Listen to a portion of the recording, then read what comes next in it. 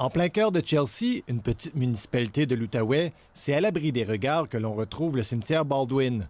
Dans un décor bucolique, quelques pierres tombales se dressent toujours fièrement et racontent l'histoire de la famille de William Baldwin, un ancien sergent britannique à qui on avait accordé dans les années 1800 une terre de 81 hectares, l'équivalent de 115 terrains de football. Aujourd'hui encore, le cimetière trône au milieu de cet immense domaine. Chez certains, surtout chez les anglophones dans les milieux ruraux, euh, il y avait une tradition d'avoir un cimetière euh, familial. Les gens se faisaient enterrer près de leur terre ou sur euh, leur terre. Et ici, ce qui est intéressant à Chelsea, il y avait déjà un vieux cimetière qui est aujourd'hui un cimetière historique. Alors, comme euh, ils étaient protestants, ils étaient méthodistes, ils auraient pu très bien, la famille, aller se faire euh, enterrer à Old Chelsea. Mais je pense que pour leur attachement, l'attachement à leur terre, ici à la vallée Meach, ils ont décidé de se faire enterrer euh. L'endroit est bien caché et encore méconnu du grand public.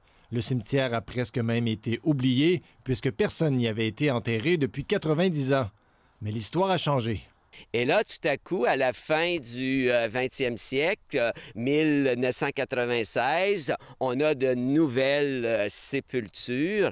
Et en fait, euh, on pourrait dire que c'est un cimetière encore vivant, puisqu'il y a un descendant de Baldwin qui s'est fait enterrer ici en 2019.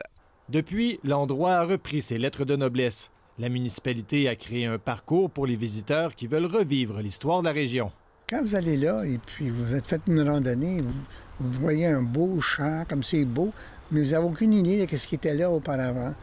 Alors, euh, et puis ces familles-là, c'est des familles de pionniers qui ont, euh, qui ont développé Chelsea, euh, qui ont participé à la vie communautaire et puis la vie civique dans le gouvernement municipal. Et puis tout ça s'est perdu. Hein? Alors là, on reprend un petit peu l'histoire, puis les gens aiment ça, oui. Cette initiative permet de partager aux visiteurs une page d'histoire de ce coin de pays. Ici Christian Millette, Radio-Canada, Chelsea, en Outaouais.